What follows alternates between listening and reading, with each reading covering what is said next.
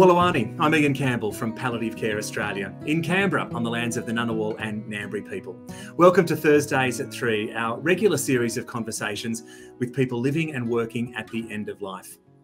Our guest today has experienced both through the death of her husband Derek in 2019 and today as CEO of a charity shaping family friendly end of life options for people. Hello, Natasha Welsh. How are you? Hello. Thank you for having me, Ian. Really looking forward to our, our conversation this afternoon, Natasha. Are you ready for this? We're going to be talking about some, some hard times in your life, and there's always an emotional weight that comes with that. But is there also something empowering about sharing your, your family's story? Absolutely. Yeah, look, it is tough um, and it never gets easier. I suppose having gone through that process and then sort of shifting our grief into into what we do today um, is empowering, and it, it definitely is a testament to the legacy that I wanted to leave for Derek and and for my son Christian, um, honouring his dad. We're always better when people like you share their wisdom, Natasha. So thanks again for being here. Um, Derek died in in August of 2019, almost four years ago after a 23 month battle with aggressive brain cancer. He was just one month short of his 36th birthday. Mm. Tell us about life with you and Derek and the, and the family before cancer stepped in. Yeah, look, uh, Christian um, was really little when Derek got diagnosed. So uh, we were a very young family. Um, and we're enjoying it very much so. Uh, we were actually almost uh, starting to think about having our second when Derek got sick. So um, that was definitely really hard. Um, but yeah, we both worked and, and loved life and, and, and traveling and doing all sorts of things with Christian um, and really relishing those moments that we had um, at the beginning of his childhood. What's the love story, Natasha? How did you and Derek meet? uh, we met through mutual friends, actually. Um, it was just, yeah, really coincidental. Uh, no dating apps or anything like that. They didn't really exist back then. But yeah, we uh, met through two friends and uh, sort of blossomed from there, and uh, we're inseparable for for a very long time. And where were you living at that time? Where was life for you guys? Still, still, where I am today. So Sydney. Um, I'm in Ryde, and, and Derek grew up in Croydon Park, so we weren't too far away from each other, um, but our paths had never crossed, and uh, both pretty active sports people, and uh, sort of that was a big part of our beginning of our relationship growing up, going through those stages. So he did cricket, I played soccer, and we always supported each other and, and enjoyed doing so. And then Derek starts to feel sick, unwell. Yeah, it all happened really quickly, actually. Um, you know, in hindsight, when the, the staff at the hospital ask, you know, have any has anything been happening, and have you noticed anything? It's not until that point in time where you kind of the penny drops about a few little things that had happened in the months leading up to Derek's diagnosis. Um, but yeah, he just sort of started having a few migraines, uh, losing his balance at work. He was a landscape gardener um, and just noticed it. Um, the other thing too was he also started feeling a lot of anxiety. Um, and I tried to help him as, as, much as I could through that. But it got to a point where I said, I think you should, you know, get some help.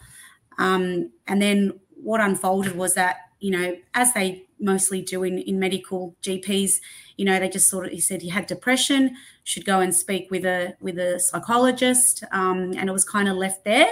And so he did that, and then not long after, he just sort of woke up one day with a terrible migraine and vomiting, and we presented at the emergency department. So, yeah, I'd say it was about a journey of maybe three or four months with some odd sort of symptoms and mm-hmm. feelings mm-hmm. and emotions, um, and then we started our GBM journey. Can you help us better understand the anxiety and the and the depression that Derek was feeling? Was that a, a symptom of of the cancer, or or or a result of of how you feel when you're sick? I think it was the cancer. So mm-hmm. where his lesions were were at um, one of them particularly was at the front of the brain, which affects our sort of our emotions and our character and I suppose, you know, they can't ever put a, a timeline of exactly when the lesion started growing. But, you know, on reflection, when you go back further, his behavior had sort of changed, you know, moderately over the years and kind of just put it down to sort of growing up and having children, like having Christians. So it's hard to say, but he definitely sort of became really overwhelmed in those three or four months leading into the, I suppose, the tumor showing itself. Um, and he really struggled with that. And um, he was suffering quite a bit. So that's why we ended up at the GP. But it was a very short-lived. Um, you know, we think you have depression. Go speak to a mm-hmm. psychologist. Um, it was actually there was a, a tumor growing in, in his head. Yeah. Wow. How old was your little man, Christian, when all this is happening? Uh, he was two. He was mm-hmm. two. He was about to turn three. Um, so yeah, very little, and that was you know something that uh, you know you can't kind of put words around that processing time and that happening to you. It was like a, a huge bomb exploding in in our lives. Um, and you know, I quite often tell this story, and and I'm you know proud to own the fact that this was how I felt because it's so horrible imagining a child having to grow up without their parent that I just kind of wanted Derek to pass away really quickly at that point in time when you're told how you know terminal it is and that there's really mm-hmm. no chance so that maybe Christian wouldn't have to remember him or experience that grief. Um, yeah. But what I what I learned through our journey was that we created so many memories and lived a life, you know, that some people live over, you know, 10, 15 years. We jam packed into sort of those 23 months. And that I don't regret now, like, you know, feeling that way, but then experiencing the journey that we went through to give Christian the life memories that he has now. Thanks for sharing that because it's really easy to feel some shame around this stuff sometimes. But these are such extraordinary experiences in our life. We really don't know how we're going to respond and, and react to them. Yeah, it, it took me by surprise too that that was my sort of first gut reaction when mm-hmm. I found out that it was so terminal. Sort of, we originally told it was 12 to 14 months. So you kind of can't even get your head around that short yeah. time frame and Christian being so little. But he really does have such beautiful memories of Derek. And, um, you know, he's eight now. And, you know, his counselor once said when we first met him that, you know, Christian wouldn't really grieve or go through the bereavement process until he was about seven. Um, and he was really, you know, correct. So in the last six to 12 months, Christian started to articulate his feelings more about missing Derek and, you know, remembering things more. So it's a really beautiful thing to watch um, as much as it pains me sometimes that he has to go through it, he's um, really handled it well. Just trying to put myself in in your situation at that time, and you, are trying to make memories for Christian and, and as a family, but no doubt you're diving headfirst into cancer treatment as, as well. Mm. Is that what becomes your world? Oh, 100%. It was just, you know, life's turned upside down in, in a, you know, a moment's notice. And it was this real fine line about managing his treatment and being present at everything and understanding everything and trying to stay positive, which seems ironic given it's such a terminal diagnosis. Um, but we actually had very quite different journeys, Derek and I. Like, sadly, he never accepted that he would die, which I can't put myself in his shoes because it's easier said than done to be pragmatic and say, well, that's what it is, and you know that you're going to to die.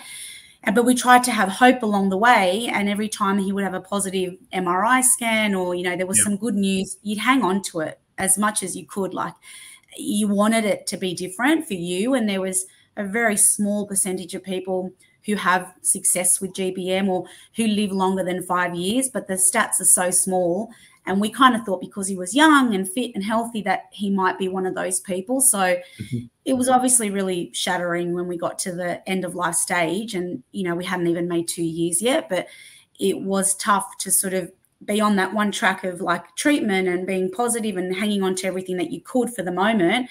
And then being, you know, pragmatic about experiencing those moments with him, with Christian, and making as many memories as we could. And also, to whilst Derek was okay, because he kind of declined rapidly at one point and his movement changed. So it was harder to actually go and do things and, and have those experiences. So it was a fine line. Had you guys spent much time talking about death and dying and, and, and having those end of life discussions before all this? No, gosh, no. It was one of those no. things. I think it, it, was a real learning curve for a lot of our family and friends, particularly you know our friends who are our age. It was mm-hmm. an awakening to them to to be alert to the fact that anything could happen, and particularly around you know basic things like you know your will or life insurance or some of those things that you kind of do think about once you start your family. And our family was so young with Christian being two, it, it was definitely on my list of things to do in terms of addressing those things. But it would have been good if we had have had those discussions earlier on on reflection but you know who was to say when he got diagnosed that that was going to be our life changing so it was very tough along our journey to then have those discussions about you know how Derek wanted to be buried or cremated like he could never really have that conversation so yeah. I had to just manage it out for us and for him because the devastation that he wouldn't be here to watch Christian grow up was just heartbreaking. Yeah, yeah. Tell us about the the palliative care service that you guys engaged with. It sounds like you've had a had a positive experience with palliative care. Yeah, look, absolutely. Um, it, we were surrounded by great practitioners and and teams and, and you know people who did talk to each other which i think you can sometimes be an issue yes. in the medical system in general right um, the left hand doesn't talk to the right hand but yeah. no we were we were really fortunate um, we had a really good team at, at, royal north shore and and then aligned ourselves with hammond care for some um, you know palliative care sort of treatments and derek did a two week cancer rehab stint at, at one of their facilities um, and then we ended up choosing a different location for end of life. And it was purely based around the fact that I had this vision of what I imagined end of life care should look mm-hmm. like. Um, and particularly too for someone as young as Derek, um, it kind of broke me that end of life would be in what looked like typical hospital wards. Um, yeah. And I've told this story before. I watched a movie once with um, Toni Collette and, and somebody else, and and her end of life is in this beautiful hospice, you know, somewhere in Europe. I can't remember the country, and I think I just I had fixated that why don't why can't we have something as beautiful yeah. as that? You know, the surroundings be as you know lovely and, and green and all the rest of it. So yeah, we ended up choosing um, Concord Hospital purely because they had this facility where they could open the doors, the bifold doors in the rooms, and you could roll the bed out and just the you know having that as an option just made all the difference to being able to be outside and and still feel the sun and those kind of simple pleasures. So yeah but it was a very good experience um, aside from the fact that christian wasn't able to stay with us overnight um, which is just a the legal insurance thing with public hospitals. Um, so that was interesting to sort of not understand that properly until we got to the end as well and we'd already made that decision. Um, but we committed to it. So it was sort mm-hmm. of knowing that when we left home and we'd been in palliative care for you know almost two months that i wouldn't be coming home until derek passed away. So lucky to have really amazing family and support network that you know brought christian all the time and you know he was always there. But that space was definitely I guess not what you would imagine it to right. be or should be for children of his age. And that, the, I guess, the the restrictions around Christian staying with you guys at Concord, uh, and that sort of environment that you were looking for is very much what inspires Derek's place. And I'm keen to talk to you a bit more about Derek's place and the vision that you you have for that. But but first, I'm keen just to tease out what palliative care looked like for you guys. Um, we often talk about palliative care being that sort of holistic approach, multidisciplinary approach. Um, the left hand and the right hand talking, hopefully. Um, what did it look like for you? What sort of services or therapists did you guys engage with that that was good for you and good for Derek? Yeah, look, it, it's a really good question, Ian, and and it's one that I, on reflection, look back and think, you know, perhaps I should have had that conversation about end of life or palliative care much earlier with our, you know, with our service providers. But you're so focused on the treatment and you know going through those motions that and you don't want to talk about that because it's like almost taboo that's at the end we'll wait till mm. we get to the end but then it kind of just was sprung on us we're here now and we hadn't built ourselves up for that very end bit but a year or so before Derek passed away, it was sort of came to practitioners' attention because of his mobility issues. Actually, you know, Derek could benefit from palliative care and coming in for a, you know, like a short stay. And I remember at the time being so alarmed by the fact, thinking all I knew about palliative care was that it was end of life yep. and not understanding that there were other, you know, bits and pieces to it and that it meant more about sort of that end piece.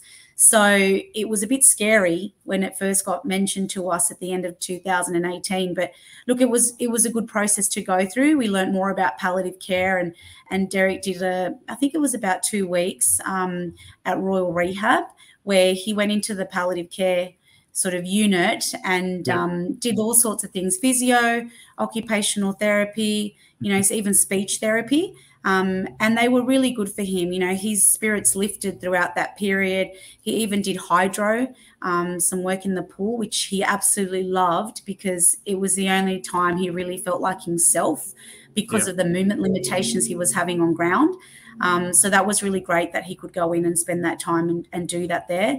So, you know, that was our first sort of experience or interaction with it. Um, and it sort of educated us on it meant more than just end of life. And then when we got to that end of life stage, it kind of unraveled so quickly. And, you know, we weren't, I didn't really even understand what home palliative care would look like and, and, you know, the steps moving there to then get to a palliative care facility. And now you've got this great vision uh, for Derek's place. Was that an idea that was burning away when when you and Derek were were together and you were at, at Concord, or did, or did the idea for Derek's place come afterwards?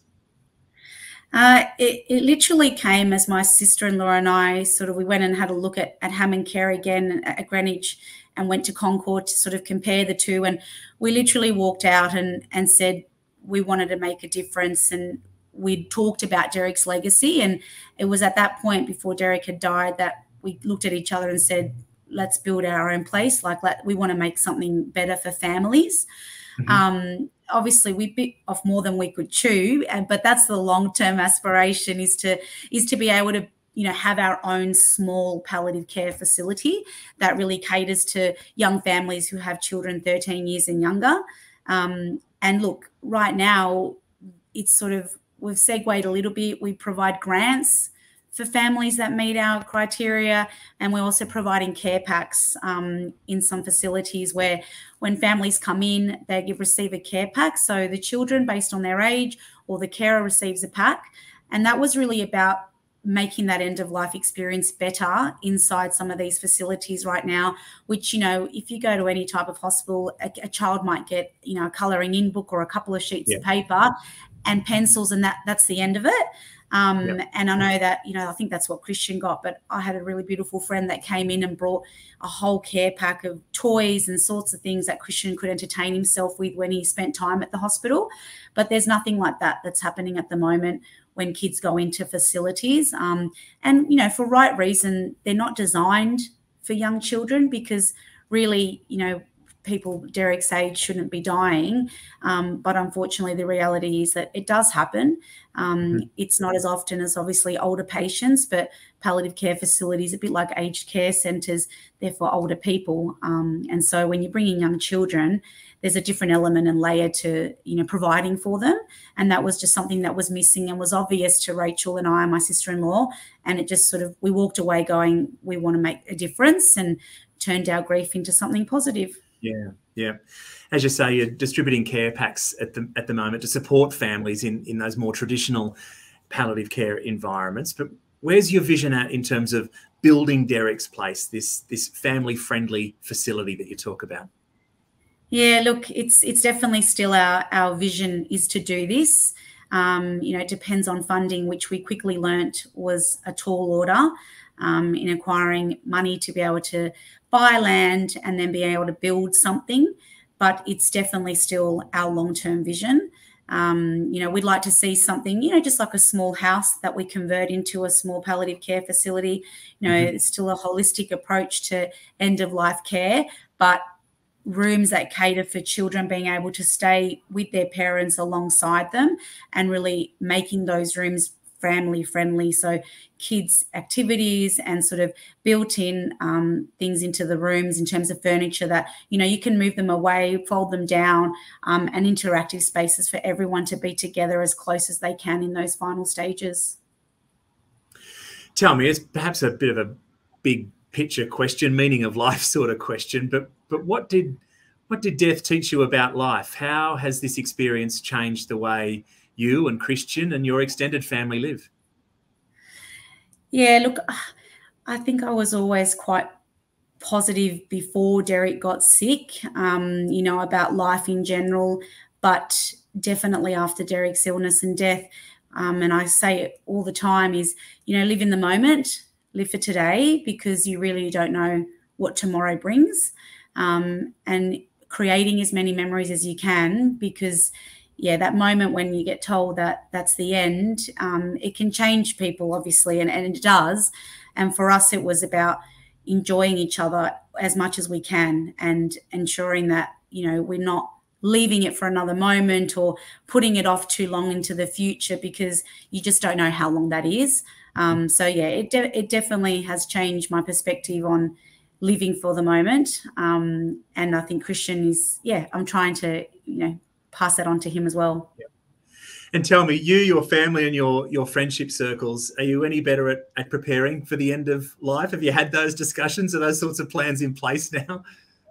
Yeah, look, I definitely, you know, I got all my affairs in order after Derek passed away, um, yeah. with right reason because it's just me and Christian. So ensuring that there was no issues, um, you know, financially too. Like I've tried to do that as well as best as I can as a single parent. Mm-hmm. Um, but yeah, I think it's definitely a conversation I've tried to have more openly with my parents as well um, and be more realistic about that end of life space and what that will look like and you know having more open discussions about how they want to be buried or cremated and and understanding wishes rather than leaving it unsaid and then getting to a point where you know mental capacity might be at question too which definitely was the case for Derek because you know we left that sort of end of life discussions really too late and his mm. brain had started to deteriorate and there really yeah. wasn't any understanding at that point so i think particularly with older parents sort of having those discussions early mm-hmm. is is really key um, to make sure that everyone's on the same page as best they can be when you're talking about things like death um, i hope this comes out the right way but i guess it's it's it's really easy to focus on on the death and forget the grief and bereavement that comes afterwards for, for you, for, for Christian, and for Derek's family. What do you do when you need to pick yourself up? How do you deal with that grief and bereavement almost four years on now from, from Derek's death? It's a really good question. I think, um, you know, I, I continuously live with the grief, and mm-hmm. there's more days that are challenging than not. Um, I live such a busy life, though, that sometimes I think that grief gets caught up in being too busy. Um, so when I actually do stop and absorb, you know, the moment and, and where I'm at, um, it is really hard. But I I look back and I reflect on the memories. I tend to watch videos, sort of to they have like a it's a catch twenty two. You know, they have a positive effect on me, but it does make me sad yes. at the same time. But yeah. I feel more alive when I when I can watch Derek, you know, in real time on on a video. Um, and Christian and I have have come to enjoying to do that together more often recently, as he's mm-hmm. sort of progressed through that seven to eight year old mark. He wants to see it more, and and that's really nice. So we kind of bond together when we watch those those home videos. Or um, there was a really nice package put together by the team at. Um, at Hammond Care Dreams Project, which um, is a really beautiful video with some music to it. So we always like to watch that, and, and it does make us feel better, even though it's it's really sad at the same time. Um, but yeah, look for both of us, you know, when we ever feel sad and we do something um, that will remind us of Derek, we just you know being together and comforting each other and sort of always expressing that it's okay to be sad.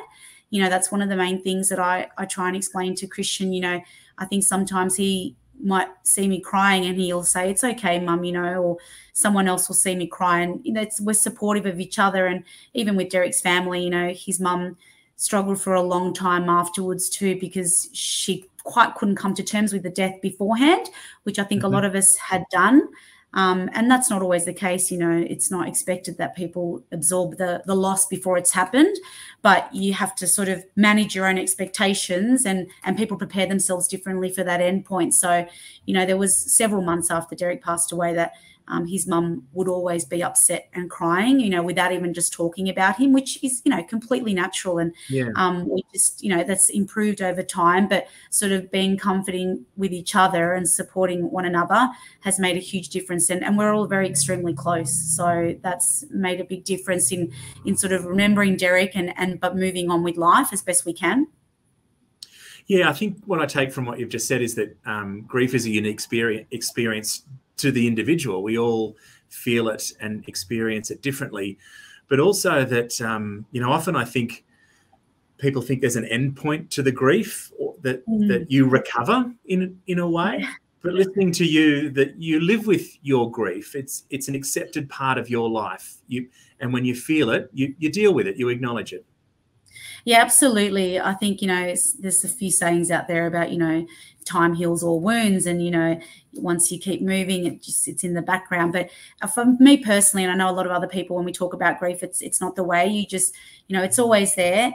You build with it. Um, you learn how to manage it better hopefully. Um, and that's you know a work in progress as time mm-hmm. goes on but yes i think absolutely just accepting that it's always there with you and that it's okay that you're still grieving you know x amount of years into the future after your loved one's gone Natasha, how can people get behind the Derek's Place vision? How can people support you and what you're doing?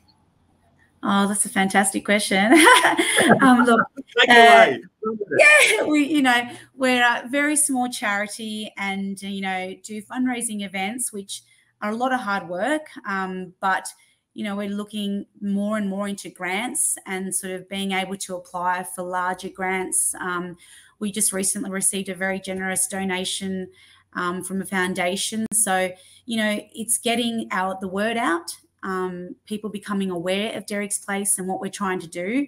Um, it's a very small, you know, marketplace, if you will, of you know the people that we're targeting in the palliative care space.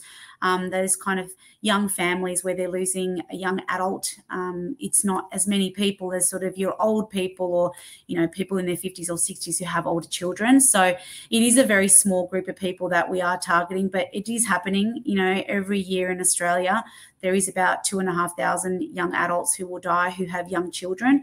So we'd really like to extend the work that we do. We currently only operate in New South Wales, but that's something that with more money and over time we'll be able to extend our reach across other states um, and be able to support young families all over Australia.